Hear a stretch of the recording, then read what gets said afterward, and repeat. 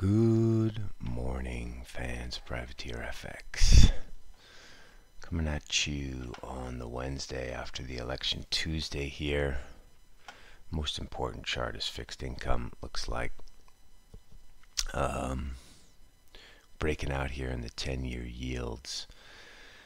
Be better if this was in the US session, but here we are. We've sort of gap opened. You can see on the yield side, we've gapped open and we're through 100. This becomes more interesting once this gets through 176. This is the long bond. Um, 177. Um, this has a lot of implications that complicate a lot of things. If yields shoot higher, uh, this could affect FX, this could affect stocks, this could affect a lot of things. Uh, and so we have to really decide whether yield higher is a lack of faith uh, in the U.S. instruments or it is inflationary pressure in the U.S. instruments. So we've got to kind of see what the world is thinking. We know less foreigners are buying these things. Um, we know there's a revenue problem after the pandemic. Uh, but we also know it could be supply driven inflation. Uh, and we also know that if the vaccine comes quickly, there could be just generalized inflation as well. Anyway, watching this space, we're short some fixed income. Euro popped up to 27 last night, then back down to 80. Um, so just took out stops through 10. Here we are back at 05. She looks like she's going to go higher. Uh, this is the consensus trade. It's a little bit of a worry. Um, just because every single person thinks the same thing. This dollar has to go lower. Uh, so be careful with this. This trend line could be your change in trend position. Cable's not doing much. Dollar Swiss, sort of a drunk euro, not doing much. Euro Swiss back above 03 after the sort of Iran concerns, but nothing to do in, in dollar Swiss.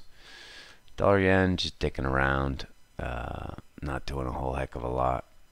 Some bids at 60 yesterday held, uh, but we're 73, so not much to say there. Aussie's been incredibly bid. Not sure what the hell's going on here. Uh, maybe less COVID or something, but Aussie's been very, very bid. Uh, really no idea what's driving this. We tried a little Aussie short, uh, but no love, stopped out.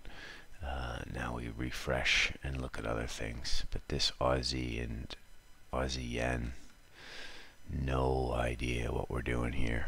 Uh, this makes no sense to us at all. Voila, here we are. 98 the high, uh, heading into 80 yen on Aussie yen. Wow. Um, let's look at dollar China. This could be a barometer uh, for the dollar complex in general, since this is the most offered uh, unit. So dollar China, where's your like pivot point? Let's call it six 4650 but really it's it's it's probably back through 650 so we're a percent away from any kind of pivoty moment but this could be your canary in the coal mine if the sentiment in the dollar changes. And the only way this would change is if people start getting worried about yield. Uh, and of course historically yield is one of the main drivers in FX and it does attract capital flows uh, if it gets if it gets high if it goes higher for the right reasons. That's a big caveat you know. Turkish yields go higher but you know that's a garbage currency. No one gives a fuck about um, 16 17 percent when the place is like burning down. Uh, but if yields in the US say 10 year goes to 2 2 percent 2.5 percent um, this may affect capital flows and therefore affect foreign exchange Let's look at yeah. So let's look at crude. Uh, crude popped above uh, popped above 50, made a new high overnight.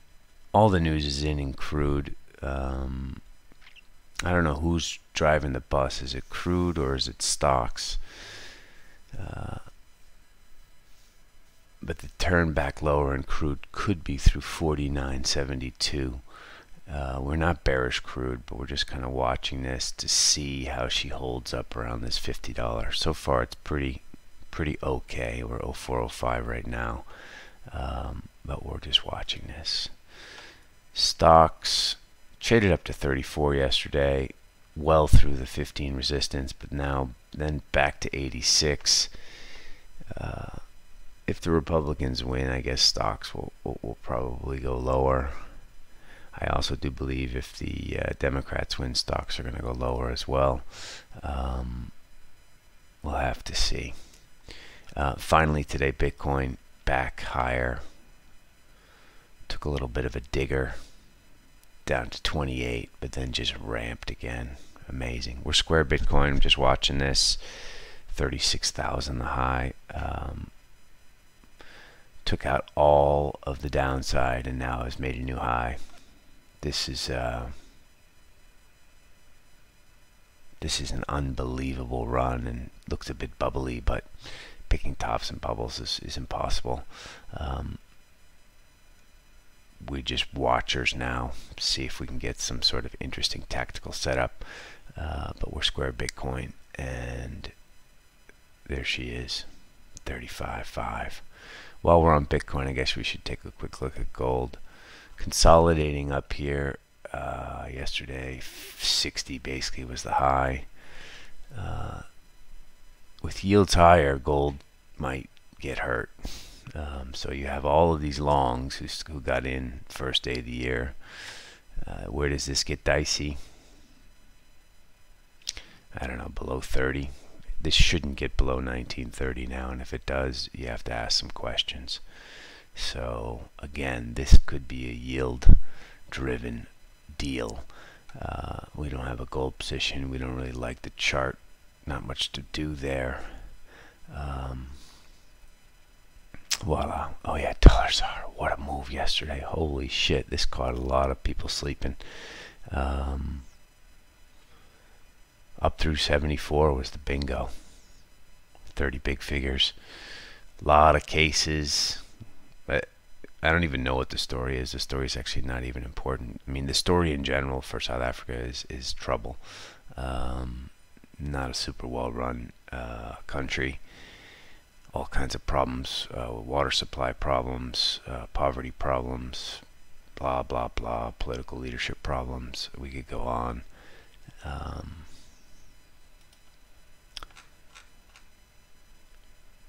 that is a platform to be long dollar ZAR, so you want to buy this on any dip um, going forward. Anyway, our main focus today is uh, on this fixed income, uh, short tens, uh, and maybe tactically short 30s, but you really want this to break uh, 176 and the yield area in the 30s, and it gets more interesting when uh, the Yanks are in. So watching fixed income today and waiting on these election results to see uh, see what happens. All right, said enough. Good luck out there, people. Talk to you tomorrow.